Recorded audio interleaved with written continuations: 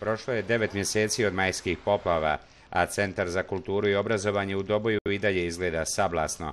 Do danas je, zahvaljujući sredstvima iz gradskog budžeta, renovirana tek umjetnička galerija. Zahvaljujući također grad Doboj, što bi obaz da kažem, e, dodijeljena se nam sredstva od 30.000 maraka za samo neupodne rade ovdje u sali, znači podne, podne rade, podno pokrivačke radove, zatim zidove i krećenje. Radovi bi trebali da počnu tokom aprila, a za kompletno renoviranje potrebno je mnogo više novca kojeg očito nema u gradskom, ali ni u entitetskom budžetu.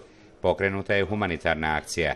Putem broja 1458 građani mogu donirati sredstva. Ovu humanitarnu akciju pokrenula je etnogrupa IVA, koja je početak akcije ozvaničila promocijom novog spota u devastiranoj kinosali.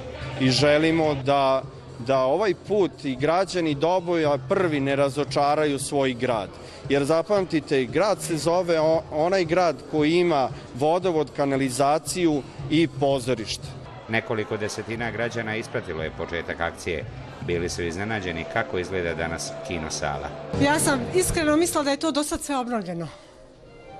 Donacijom, opštinskim sredstvima, bilo čin. Ne mogu da vjerujem da nije, ali eto, došla sam da vidim i da podržim. Pa pa mislim da je sad u ovom trenutku najvažnije da Centar za kulturu postoji u svakom slučaju. Sredstva se moraju nabavljati na sve moguće načine, jer evo, prošlo je već godinu dana, nije ništa urađeno, Ja mislim, ako niko ništa nije uradio, drago mi da su građani pokrenuli inicijativu i da to žele, jer ovaj grad to zaslužuje. I sam sam bio učesnik kad je se čistilo ovo ovdje sve i kad je grad bio poplavljen i Centar za kulturu i drago mi je da je etnogrupa Iva uradila tako nešto i nadam se da će građan to razumjeti i pomoći. Humanitarna akcija za prikupljanje sredstava za obnovu Dobojskog centra za kulturu trajaće do kraja marta.